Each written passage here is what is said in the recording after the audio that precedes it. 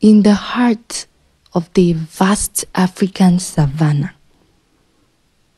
where the golden sun kissed the earth and the winds whispered ancient secrets. There lived a man named Abe. Abe was known far and wide for his wisdom, kindness, and remarkable ability to care for others. One warm evening, as the stars began to sprinkle the sky with their celestial light, Abe sat beneath the baobab tree, the ancient storyteller of the village. With a gleam in his eye and a smile on his lips, he began to recount the tale of how he came to have 155 wives. Long ago, when Abe was just a young man, he embarked on a journey across the vast plains of Africa. Along his travels, he encountered people from different tribes and cultures, each with their own customs and traditions. As Abe journeyed, he learned from each encounter, embracing the diversity of his homeland. One day, while passing through a remote village, Abe stumbled upon a group of women weeping by a crystal clear stream.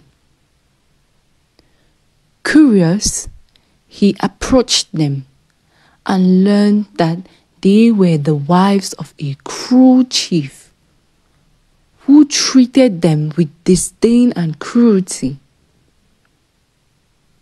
Moved by their plight, Abe vowed to help them escape their oppressive situation.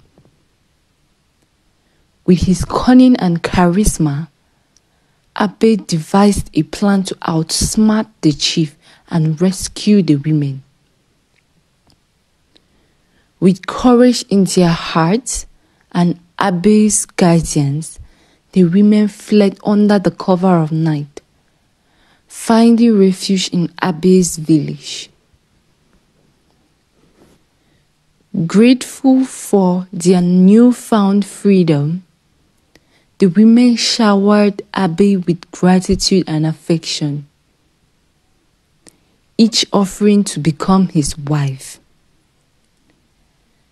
Abe, with his compassionate heart, accepted each woman into his home, promising to care for them and treat them with love and respect.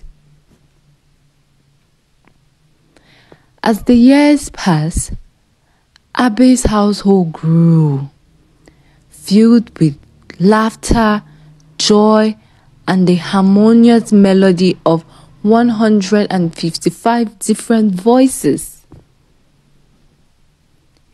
His wives became his closest companions, each bringing their own unique talent and wisdom to enrich their shared lives.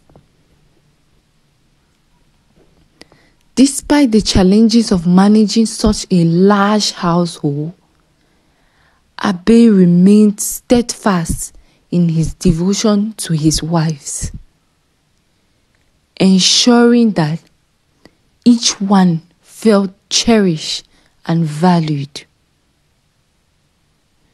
Together, they thrived, building a community founded on love, understanding, and mutual respect. And so, under the watchful gaze of the baobab tree, Abe continued to share his tale, inspiring generations with the power of compassion, courage, and the boundless capacity of the human heart to love and care for others, regardless of their differences. And in the twilight of each day, as the sun dipped below the horizon, Abe would smile, surrounded by his 155 wives, knowing that true happiness lay in the bonds of love and friendship that connected them all.